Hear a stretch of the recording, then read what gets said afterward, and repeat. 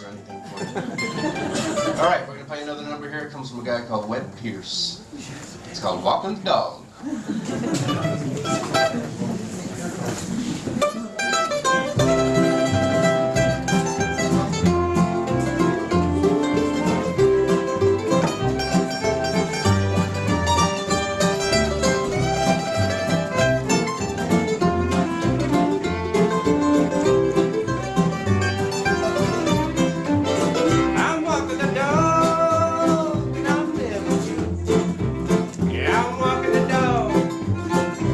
Thinking about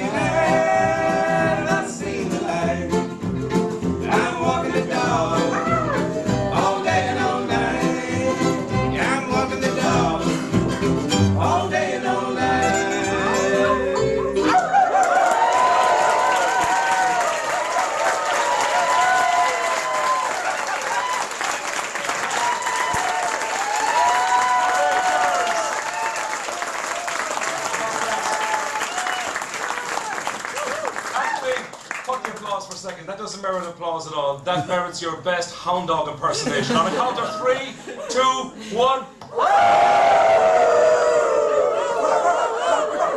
Well, you're not scared me, that's for sure. Listen, thanks a million for that. Uh, the Clew Bay Critters, great sound. And over here with me is Tim Rogers. Tim, tell us a bit about the band. Uh, who's who?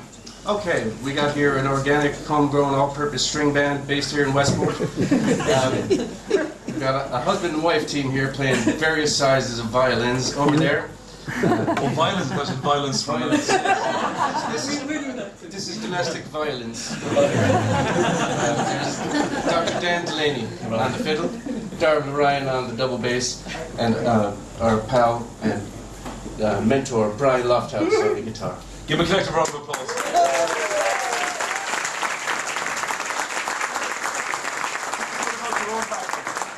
Well, my background, I am an American person. I guess you didn't come from little old Westport. No, I didn't come from here, all right, but I do spend a lot of time around here now. Uh, I've been living in Ireland for about pushing 20 years now, Yeah. and um, live out uh, in Louisburgh here in Mayo. And would people remember you from uh, the Rough Deal String Band you were with them along the river, weren't you? Some people, yeah. well, I do. In, in fact, I was, I was just saying earlier on, uh, isn't it funny how, I mean, this is a kind of uh, a minority sport in many ways, but very strong. In Ireland, there seems to be a tradition of string bands playing Americana, and we've had people like the um, the Rough Deal String Band, the Sackville String Band over the years, the Lee Valley String Band,